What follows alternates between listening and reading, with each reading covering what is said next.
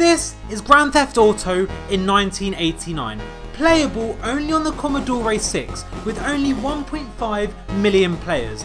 This is the story of how GTA became one of the best video game series of all time. The second GTA video game was slightly different to the rest, you could only play it in an arcade. It was small so it got no official rating. For 6 years, GTA game devs had been developing what they thought would be a masterpiece, Grand Theft Auto Game Boy Edition. The fuss of it being very similar to Pokemon, it was actually slammed by critics. Then came the launch of the first full GTA game, Grand Theft Auto 1. The official PlayStation magazine praised it as one of the most original yet controversial releases on the platform. As part of the 2D gaming universe at this time, it featured a bird's eye camera view. The player got these missions through phone calls and these missions would get you to points that would help you complete levels. These points were also used as currency to buy items in the game. There were two more games developed, GTA London 1969 and London 1961 both released in 1999, with the same dynamics as the first one. So, right after these two games, Grand Theft Auto 2 was released in 1999. The gameplay was very similar to its predecessor, 2D, bird view camera and many missions. If you played the PC version back in the day, you could choose from noon and dusk version and there was an improvement in graphics. It was available on PlayStation, Dreamcast, PC and Game Boy Color. And now we're slowly entering the 3D universe with Grand Theft Auto 3, released in 2001. It introduced the third person POV. Now players can see an open world through the innovative over shoulder camera. Story wise, we're also going back to Liberty City, first introduced in GTA 1. We're playing as Claude. During a bank robbery, Claude is shot by his girlfriend and he got arrested by the police and sentenced to be in jail. As he and another prisoner were transferred, both of them escape and get in the way of a crime boss. As Claude is quenching his thirst for revenge, his wanted level increases, which can make you being chased by policemen or avoid getting captured. Following up on the 3D universe, now we're presenting Grand Theft Auto Vice City, released in 2002. This is the sixth full game in the franchise, and now we're in a city based in Miami.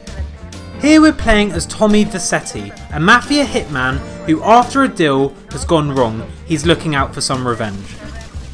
The players are constantly completing main and side missions unlocking playable areas. Now, Grand Theft Auto San Andreas was, and still is, one of the most important titles of the saga. Released in 2004, it has the same graphics as the previous titles of the 3D universe, we're now playing as CJ, or Carl Johnson, framed with charges of murder by dirty cops. To keep him on the streets, CJ has to complete certain missions. So, what's different? Well, now we can actually fully roleplay as CJ by personalising his appearance, exercising and more. During the time GTA 4 was in development, Rockstar Studios released a couple of packs to expand the story of the universe. Those stories are Grand Theft Auto Liberty City Stories, where we're playing as Tony Cipriani. This game was released in 2005 and the mission we must complete is making Tony the right hand of the mafia boss. The following year, Grand Theft Auto Vice City Stories was released, and now he's looking to create an empire in Vice City. These stories set as a preamble for the HD universe, where Grand Theft Auto 4 is the leading man. Released in 2008, this platform increased the gameplay and rendered graphics into a more realistic and detailed level. We're now playing as Niko Bellic, an immigrant with big dreams who arrived at Liberty City. Here, you can travel the city in different vehicles and during combat you can use several weapons. It's also the introduction for the first person mode, which can be used while driving cars. It also has a multiplayer mode up to 32 players. This game had two exclusive DLC contents called The Lost and Damned and The Ballad of Gay Tony, which expanded the story even more. Grand Theft Auto Chinatown Wars has a very different presentation from the previous games in the series, by partially resembling the first Grand Theft Auto titles. Instead of a ground level view behind the protagonist or a top down perspective, Chinatown Wars uses a fully rotatable camera angled down at the action. Unlike Grand Theft Auto 4, the player can disable as many police cars as possible to escape the police instead of leaving a wanted zone. The more stars the player has, the more police they have to take out for each level. For example, for a 6 star level, they have to take out 6 police cars to get down to a 5 star wanted level, and so on. There is also a dealing subplot which allows players to sell contraband around the city. Players can profit by recognising market conditions and demands based on geography and plying their wares accordingly. CCTV cameras work as the game's secret packages, destroyed by throwing a Molotov cocktail bottle or a grenade. This also decreases the chances of being caught while making an illegal exchange. This game was made mostly for PSP, iPhone, Android and Nintendo DS, which explains its top-down perspective. In 2013, Grand Theft Auto 5 was released, and it's the most graphically advanced game so far in the saga. It still uses Rage graphics engine, and it does a great job at simulating traffic, several types of weather, vehicles and more. It also has the option of having first or third person camera and you can unlock the map by progressing your missions. Each of them has a different set of skills that help you improve several experience points. Once you reach enough progress, you can start changing characters. This was one of the most successful titles of the saga, selling over 800 million US dollars just on its first day. It's the third most popular game of all time, selling over 110 million copies as of 2020.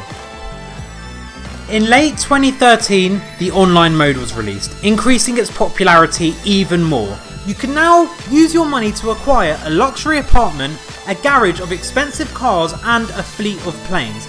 The experience was so detailed you could even get insurance for your cars and a mechanic to deliver them to you. At first, you could only play a handful of minigames with other people, including rock, paper, scissors, car races, and team deathmatch. But Grand Theft Auto Online allowed people to make their own custom games. I remember having a fist fight on a cargo container floating in the sky with players, and whoever was the last person standing on the crate would win. Rumours have it they got their inspiration from Mr. Beast. There were even extreme car stunt races in the sky that were so hard if you blinked at the wrong moment you'd have to restart. And now we're here. It's 2020 and GTA has one of the most dedicated gaming fan bases around.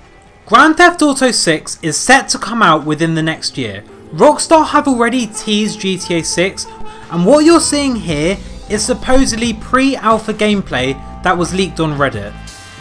I'm not 100% sure that this is actual confirmed GTA 6 gameplay, but it looks pretty legit to me and even if it's not, we can expect GTA 6 to look very similar to this. There's been many leaks on Reddit and 4chan where users have also claimed that they've gone into the GTA 5's DLC game files and found some extra information regarding Grand Theft Auto 6. This lines up with the fact that there was an advertisement at the Miami Super Bowl that hinted at GTA 6 by copying the usual GTA cover design. At first, I didn't really want to share all this information as I didn't know the validity of all this info, but after doing a little bit more research on this leaked info, I realised I'd tell you guys. Because this video is about the evolution of Grand Theft Auto, and I feel like I should tell you everything on the internet that I can find on GTA 6.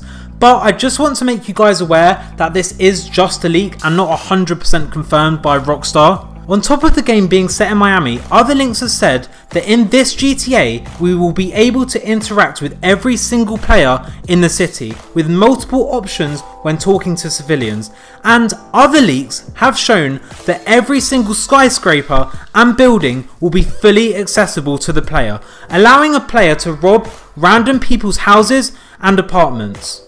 Other rumours have said that you can be at home watching basketball or football on TV in Grand Theft Auto 6 and then go to the stadium and cause chaos on live TV whilst the players are actually playing. Like this video right now for a week of good luck. Don't risk it, just try it now, press like and you'll get the most insane week of good luck ever. Also, if you did enjoy this content and you want to subscribe, I will be doing more of these types of videos in the future. Anyway, subscribe if you enjoyed the video, and I will see you in the next video. Peace out.